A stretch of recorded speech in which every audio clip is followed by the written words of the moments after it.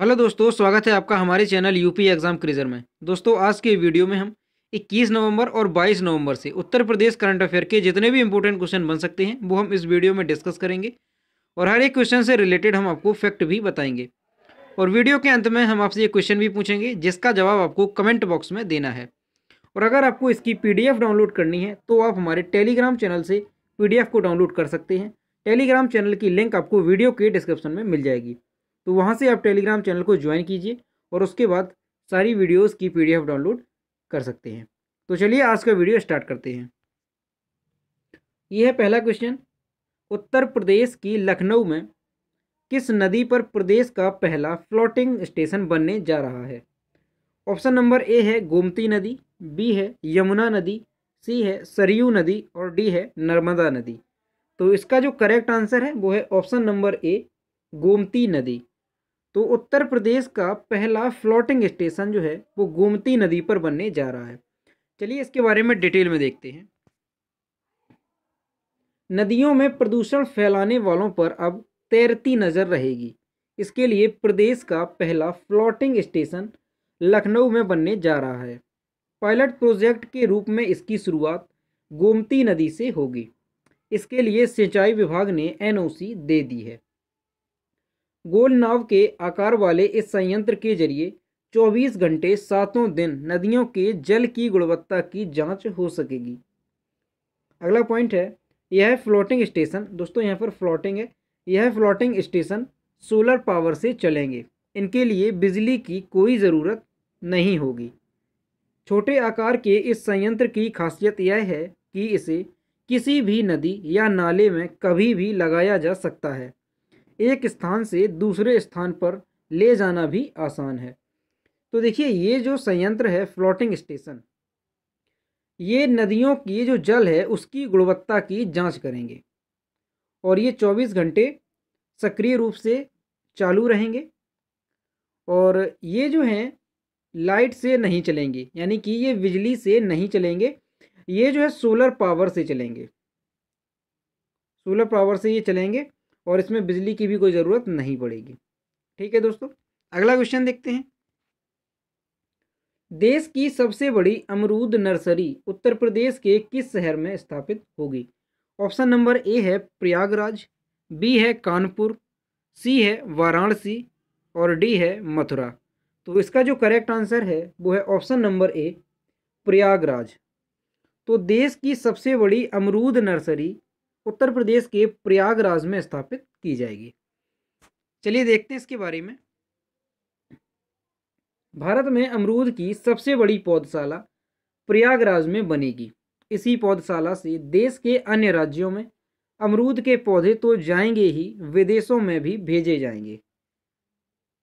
पौधशाला बनाने के लिए सैदाबाद में सैदाबाद में 28 बीघा ज़मीन की पैमाइश पूरी कर ली गई है। यहाँ शोध लैब के साथ किसानों के लिए रात्रि विश्राम की भी व्यवस्था रहेगी।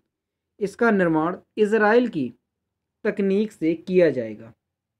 अगला पॉइंट है, सैदाबाद में बनने वाली अमरूद की नर्सरी में मदर प्लांट भी लगाया जाएगा। ऐसी तकनीक अपनाई जाएगी कि कीटाणु किसी प्रकार का रोग इन्हें ग्रसित ना कर सकें।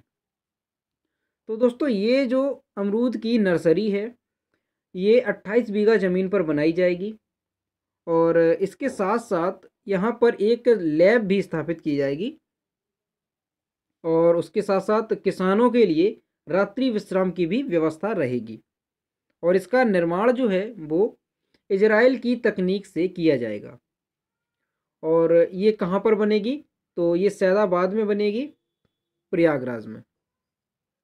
और इसमें क्या किया जाएगा, एक मदर प्लांट भी लगाया जाएगा, जिससे कि किसी भी प्रकार का कीटाणु या रोग इन्हें ग्रसित ना कर सके।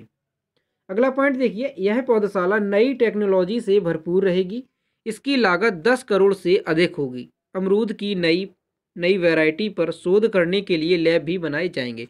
तो देखिए, इसकी जो लागत है, वो 10 करोड़ से अधिक रहेगी। और लैब के बारे में हमने आपको बताया है कि इसके लिए लैब भी बनाए जाएँगे। जिससे कि अमरूद की नई नई वैरायटी पर शोध किया जा सके। चलिए अगला क्वेश्चन देखते हैं। सामुदायिक शौचालय अभियान के तहत गुजरात और उत्तर प्रदेश को सर्वश्रेष्ठ प्रदर्शन वाले राज्यों का पुरस्कार मिला है। इसमें उत्तर प्रदेश के किन जिलों को सर्वश्रेष्ठ प्रदर्शन के लिए चुना गया है?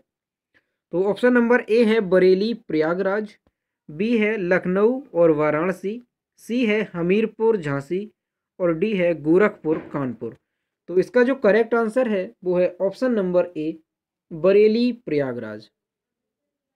तो अभी हाल ही में सामुदायिक शौचालय अभियान के तहत गुजरात को और उत्तर प्रदेश को सर्वश्रेष्ठ राज्यों का जो है पुरस्कार दिया गया है और इसमें उत्तर प्रदेश के दो ज़िले जो हैं, वो सर्वश्रेष्ठ प्रदर्शन के लिए चुने गए हैं। कौन कौन से हैं? बरेली और प्रयागराज। चलिए इसके बारे में थोड़ा देखते हैं।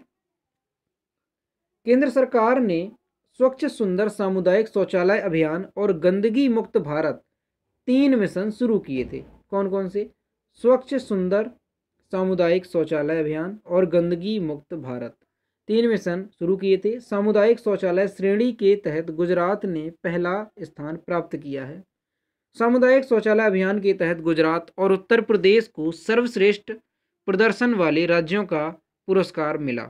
यूपी के बरेली और प्रयागराज को सर्वश्रेष्ठ प्रदर्शन करने वाले जिलों का पुरस्कार मिला।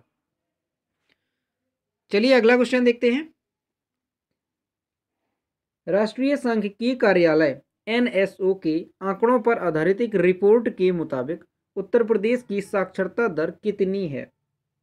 ऑप्शन नंबर ए है तिहत्तर प्रतिशत बी है पचहत्तर प्रतिशत सी है अस्सी प्रतिशत और डी है पचासी प्रतिशत। तो इसका जो करेक्ट आंसर है, वो है ऑप्शन नंबर ए तिहत्तर प्रतिशत।